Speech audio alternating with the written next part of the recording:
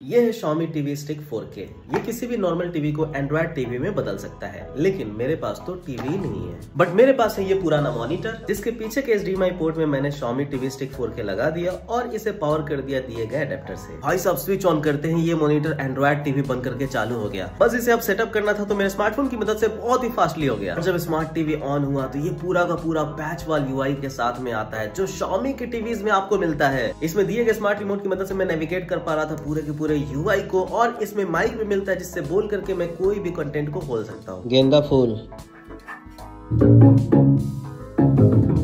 घट मॉनिटर है तो आवाज़ कहाँ से आएगा? भाई इसमें वाईफाई और ब्लूटूथ भी मिलता है जिसकी मदद से मैंने ब्लूटूथ स्पीकर को इससे कनेक्ट कर लिया। और हाँ इसमें 4K HDR के साथ साथ डॉल्बी एटमॉस डॉल्बी विजन और DTS HD भी मिलता है। दो जीबी का रैम और आठ जीबी की इंटरनल स्टोरेज भी आपको मिल जाती है। और बस एक बात कहना चाहूँगा इसे यूज़ करके मज़ा आया।